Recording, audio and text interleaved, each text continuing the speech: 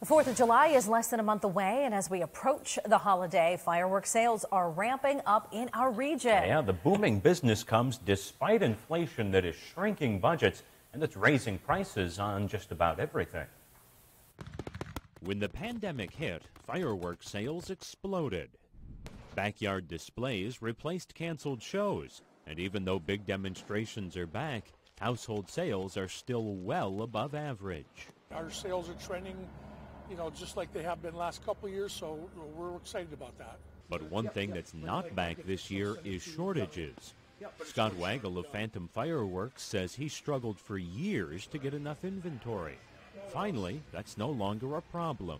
I've been here 20 years, and uh, the last couple of years, I've never seen the showroom as empty as it was. Just, you know, people buying everything, and where we couldn't get it, but not the case this year. But if you do buy fireworks this year, plan to pay a little more than you have in years past.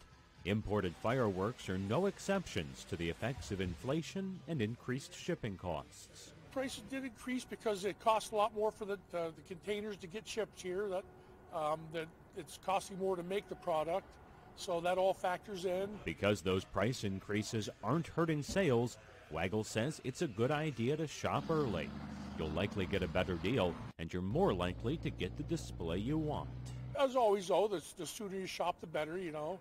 But uh, you get closer to the fourth, there's always going to be some shortage of few product or better product. A couple of things related to fireworks there at Phantom Fireworks. They stress safety. They said, mm-hmm. listen, these are a lot of fun, but they're also dangerous if you're not careful. So wear gloves, wear eye protection, be smart. And we talked with Erie Police today. They say in the weeks ahead they expect those numbers of fireworks calls to really start ticking up yeah. because people set them off in the city, which you can't do don't do that. It's illegal.